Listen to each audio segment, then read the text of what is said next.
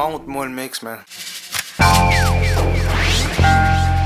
This is Mojo. Three time buzzer beat, busy, busy week. Friday night nine, time to work the reach.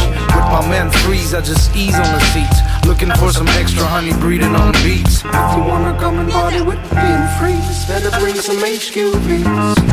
H H Q running up the freaking.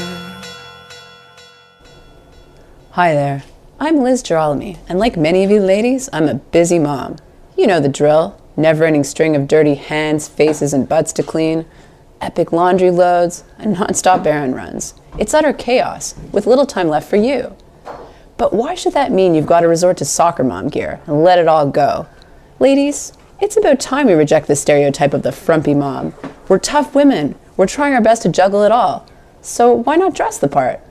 Well, I'm super excited to be working with Betabrand to make it happen, creating a collection that is geared specifically for us busy moms. Our first two prototypes are a moto style jacket and slick leggings. They're functional without compromising on style. We're talking details like wipe clean fabric, extra storage with multiple pockets, zippers to let you fold up whenever you need to get down and dirty, and a tummy control waist on the leggings that folds down for a totally different look. Why mommy?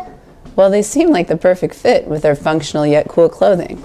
So I ran this idea by them, and I was so happy that they liked it. They really went with the concept. And now to have these prototypes inspired by my designs, amazing.